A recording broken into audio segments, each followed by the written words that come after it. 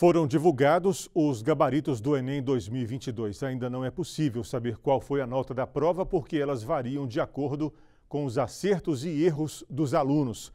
Os resultados finais serão divulgados no dia 13 de fevereiro do ano que vem na página do participante. Já o espelho da redação com os detalhes das correções será divulgado apenas em abril, junto com as notas dos treineiros aqueles que ainda não concluíram o ensino médio e fizeram o exame apenas para testar os conhecimentos. E para aqueles que não puderam comparecer ao exame por doença ou que tenham alguma justificativa para a falta, podem pedir a reaplicação até hoje. Poderiam pedir até hoje, né? O pedido deve ser feito na página do participante e será analisado individualmente. As provas serão reaplicadas nos dias 10 e 11 de janeiro de 2023.